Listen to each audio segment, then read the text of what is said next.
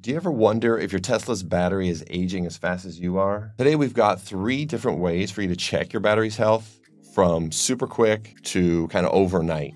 Okay, so the first one on our own webpage, we've developed a tool for you to do this. Navigate to support, EV tools, and the top option there, which says battery degradation calculator. So we developed this algorithm using information that Tesla's put out on how they calculate this themselves and sort of how batteries like this degrade.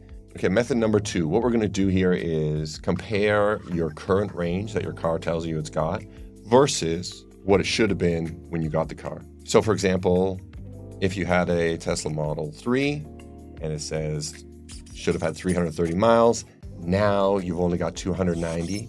You just do 290 divided by 300. So in this situation, you've got a 12% degradation. Not bad. Method three is using Tesla's own in car system. Now, this is by far the most accurate, but it can take anywhere from 12 to 24 hours. Go into your car, go into controls, safety, Scroll down to the bottom there and you'll see a battery health test. It's going to basically drain the battery out to do a proper measurement. So that's the three methods for you. Choose whichever one you want. I'd recommend starting with the one on our website.